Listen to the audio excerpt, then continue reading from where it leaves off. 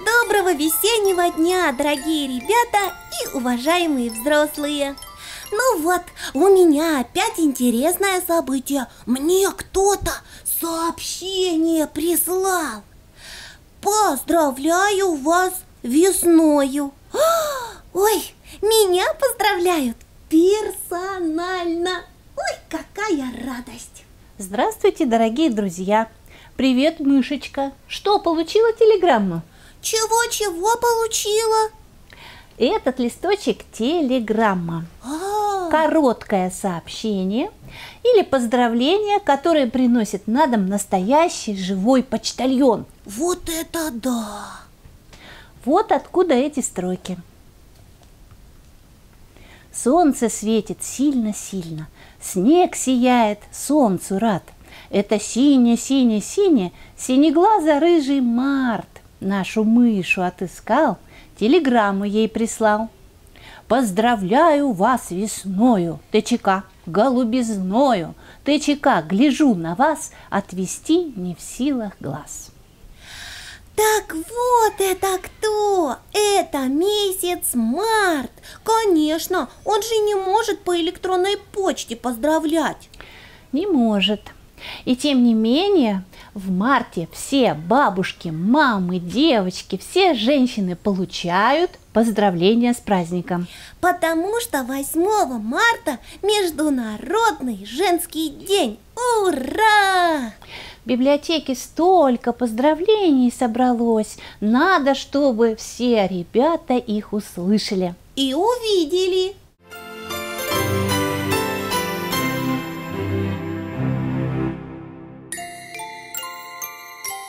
Самки в сторону отставлены. Мы в предмартовский денек загляделись на проталины и на первый ручеек. Рыхлый снег послушно лепится, но не хочется лепить. И весне уже не терпится поскорее наступить. Вот-вот март наступает и сразу праздник.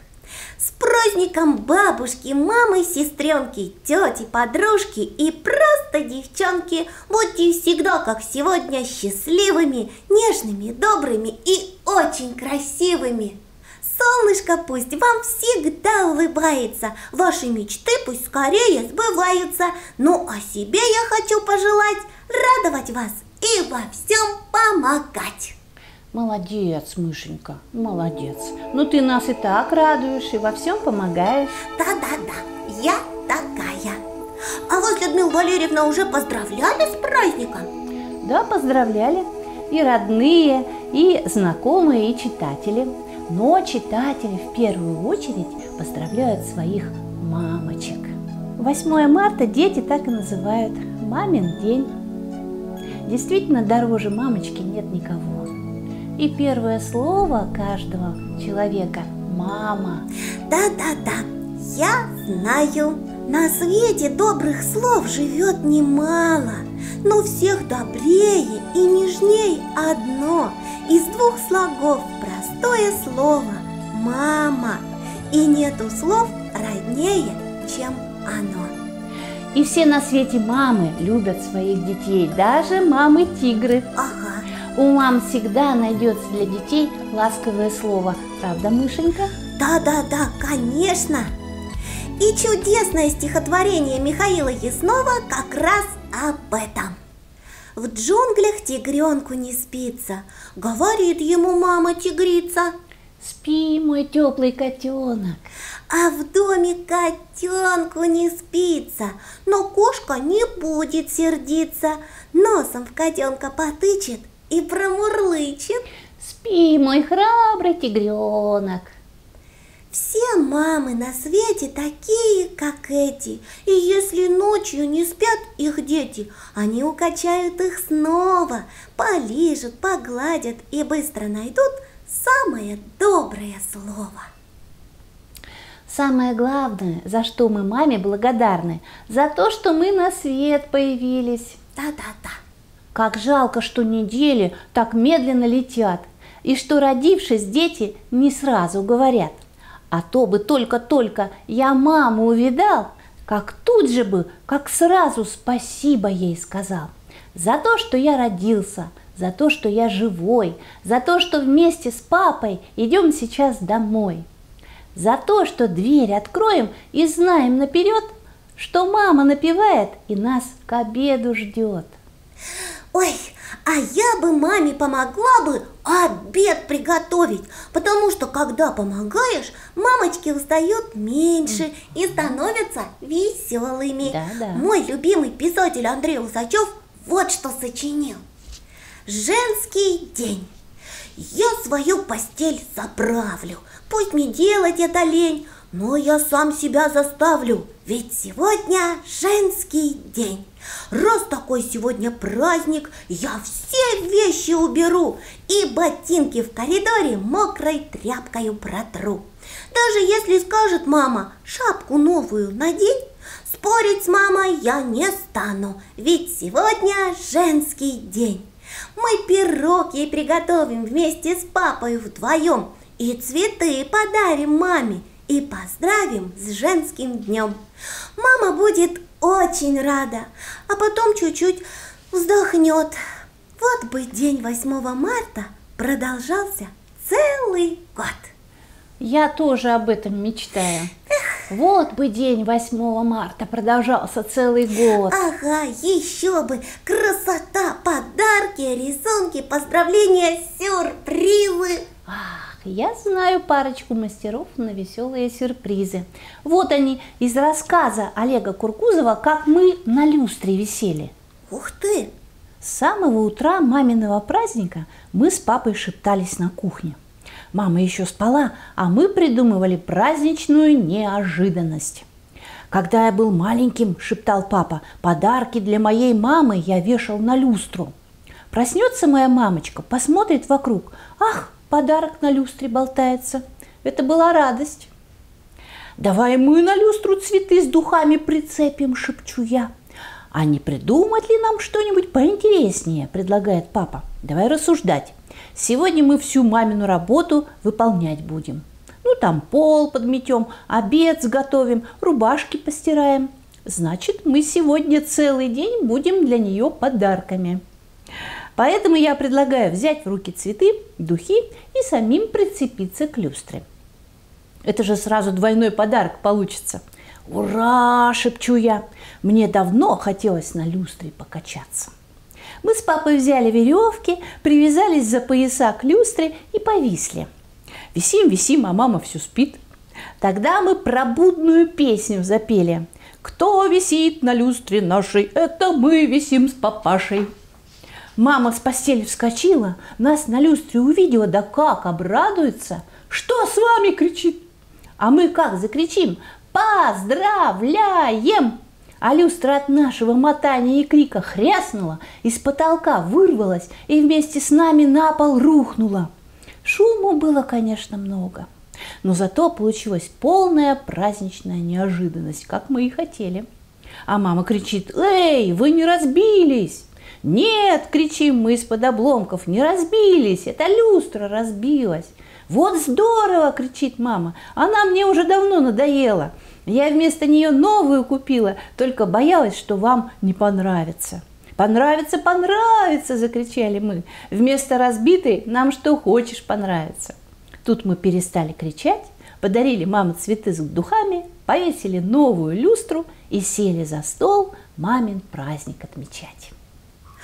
Ух ты, да чего весело на люстре повисеть! А я тоже хочу так поздравляться, а? Ой-ой-ой-ой, любезная мыша и ребята, чтобы остаться целыми невредимыми, на люстре висеть все-таки не стоит. А то будет больно-прибольно вместе с люстрой падать. Ну да, вообще-то высоковато.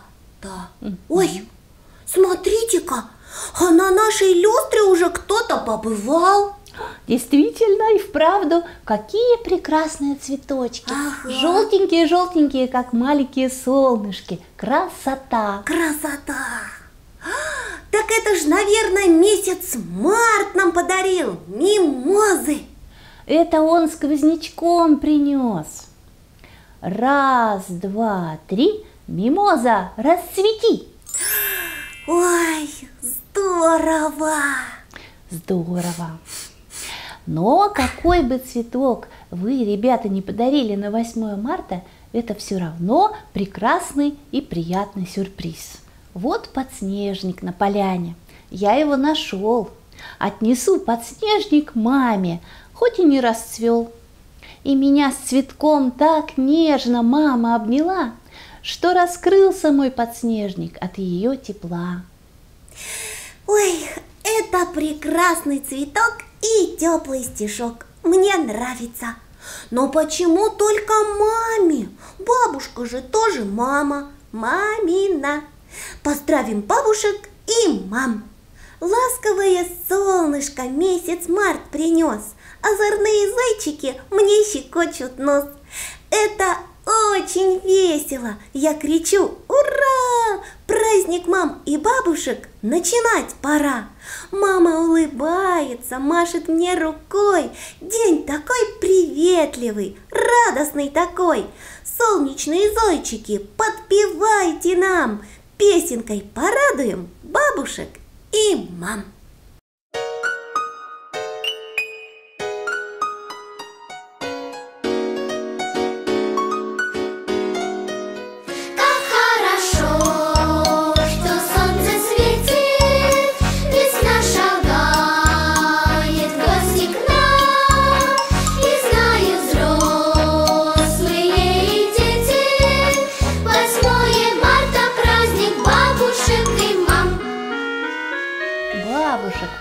Прабабушек, тетушек всех поздравляем. Ага. И в гости приглашаем, и обнимаем. Да-да-да, и дарим подарки и красивые открытки. Кстати, про открытки. У меня есть одно веселое стихотворение, но, Мыша, ты помоги мне его прочитать, пожалуйста. Да, конечно, пожалуйста, с удовольствием. Выручай, родная парта, на носу 8 марта. Я поздравления маме решил писать стихами. Дорогая мама, мама телеграмма. Ура, я догадался, от Вани телеграмма. Поздравляю, точка, твой любимый дочка. Но у мамы я один, и не дочка я, а сын. Ну а сына с точкой не срифмуешь точно. Парта, ты хоть подскажи, в рифму что-нибудь сложи. Вместо точки шлю привет и большой пакет конфет. Шлю привет, шлю привет. Только где бы взять конфет? Я конфеты зачеркнул, неожиданно чихнул, апчи. И продолжил. Будь здорова. В строчку просится корова – Здесь тебе не место, а она не с места. Зачеркнул я «Будь здорова». Из стихов ушла корова.